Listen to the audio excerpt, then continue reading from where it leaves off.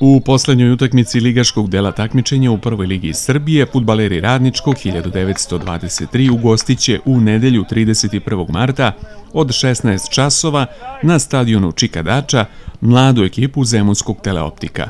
Prilika je to da naši momci triumfom zaokruže ovu fazu takmičenja i u dobrom raspoloženju dočekaju početak play-offa.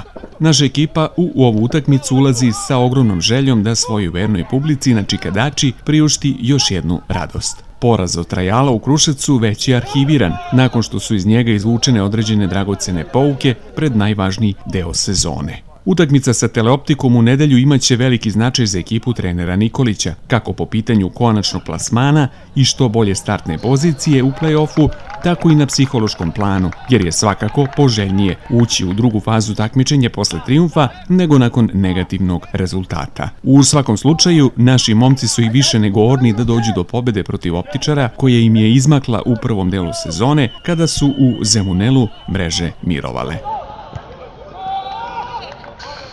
O ekipi Teleoptika je manje više sve poznato. Radi se o klubu čiji igrački kadar godinama unazad sačinjavaju mladi futbaleri Partizana, koji se nalaze na prelasku iz omladinskog u prvi tim. Dakle, u pitanju je jedna mlada i neiskusna, ali izuzetno talentovana i futbalski pismena ekipa koja se trenutno nalazi u donjem delu tabele na 13. poziciji sa 26 osvojenih bodova. Teleoptik jedna mlada poletna ekipa, ekipa školovana od, od igrača Partizana, generalno moramo da popravimo utisak ovaj koji smo ostavili u Kruševcu, moramo da promenimo malo i, i odnos prema igri.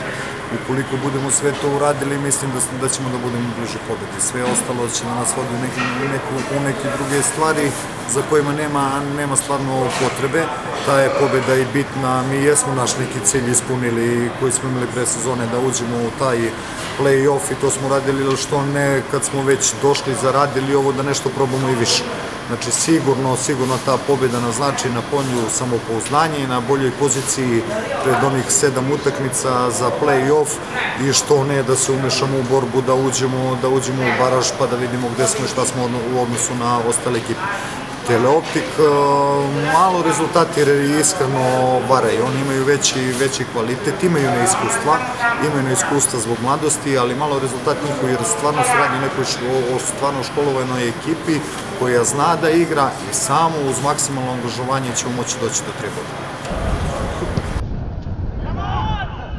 Neko ko odlično poznaje predstojećeg rivala jeste Stefan Grbović, momak koji je jedan deo svoje karijere proveo upravo u teleoptiku. Pa svakako mlada ekipa, poletna i imaju puno uspeha u prethodnim godinama u ovoj ligi, kao što, kao što i svi znamo i mislim da ne treba, ne treba ući sa nekom dozom prevelikog respekta prema njima, ali svakako treba ući oprezno možete li da zabeležite pobedu u toj utakmici. U prvom delu sezone bilo je 0-0. Koliko bi vam ta pobeda značila pred play-off na polju nekog samopouzdanja, normalno za poziciju na tabeli? Pa naravno, što se tiče pozicije na tabeli, treba pred play-off skupiti što veći broj bodova uz navijače koji su nam kao i ovaj 12. igrač, mislim da možemo da zabeležimo pobedu kod kuće. Dobri rezultati naše ekipe ovog proleća privukli su pažnju Kragujevčana, koji iz kola u kolo u sve većem broju dolaze na Čikadaču. Zbog toga ne treba sumnjati da će i u nedelju poseta biti na zavidnom nivou, a naravno glavni štimug našim momcima na terenu svojom pesmom i dlanovima davaće najverniji navijači Crveni đavoli.